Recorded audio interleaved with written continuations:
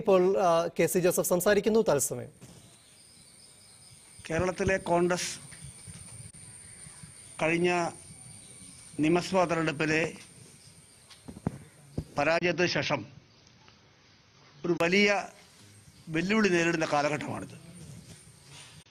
ഈ കാലഘട്ടത്തിൽ ആ വെല്ലുവിളി നേരിടാനും കേരളത്തിലെ കോൺഗ്രസിന് കൂടുതൽ കരുത്തു പകരാനും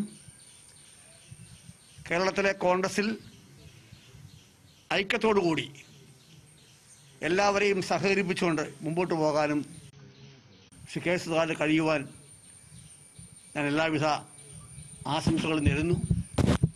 അദ്ദേഹം പരിചയസമ്പന്നനാണ് അനുഭവസമ്പന്നനാണ് കൂട്ടായ പ്രവർത്തനമാണ് ഇന്ന് കേരളത്തിലെ കോൺഗ്രസ് ശക്തിപ്പെടുത്താനുള്ള ഏറ്റവും മെച്ചപ്പെട്ട മാർഗം. അതിന് അദ്ദേഹത്തിന് കഴിയുമാറാകട്ടെ എന്ന് ഞാൻ വീണ്ടും ആശംസിക്കുകയാണ്.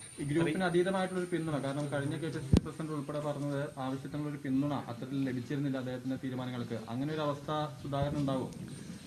പിന്തുണ ഇല്ലാത്ത കാര്യം ഉണ്ടാകത്തില്ല കാരണം തീരുമാനം എടുക്കുന്നത് വരെ വ്യത്യസ്ത അഭിപ്രായങ്ങൾ പാർട്ടിക്കകത്തുണ്ടാവും ആ അഭിപ്രായങ്ങൾ ഞങ്ങൾ അറിയിച്ചിട്ടുണ്ട്.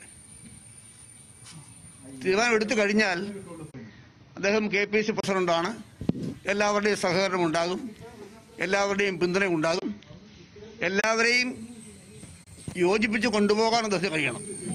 കേസിന്റെ ഒരു പ്രശ്നം എന്ന് വെച്ചാൽ നേരത്തെ സുധീരനായിരുന്നപ്പോഴും ഈ ഒരു വലിയൊരു പ്രശ്നം ഉണ്ടായിരുന്നത് ഗ്രൂപ്പിന് അധീനനായി നിൽക്കുന്നവർക്കെതിരെ വലിയ ഒരു പ്രതിസന്ധി അവർക്ക് ഈ- ഈ സ്ഥാനത്തിരിക്കാനുള്ള ഒരു പ്രതിസന്ധി ഒറ്റപ്പെടുത്തുന്ന ഒറ്റപ്പെടുത്തലുന്ന ഒരു അവസ്ഥ പലപ്പോഴും ഉണ്ടാകാറുണ്ട്. അങ്ങനെ ഒരിക്കലും ഉണ്ടാകത്തില്ല.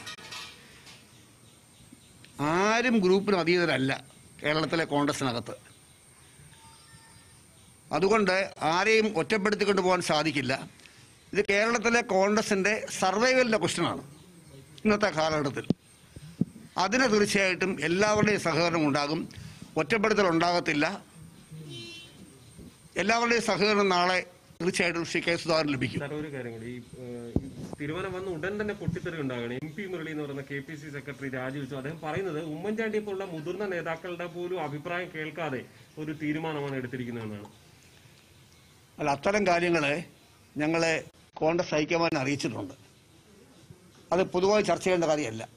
അത് അവർ ചർച്ച ചെയ്യട്ടെ. ഏതായാലും തീരുമാനം ഉണ്ടായ സാഹചര്യത്തിൽ ഇനി കേരളത്തിലെ K P C president K സുധാകരനാണ് അദ്ദേഹത്തിന്റെ പ്രവർത്തനത്തെ വിജയിപ്പിക്കുകയാണ് എല്ലാവരുടെയും ചുമതല.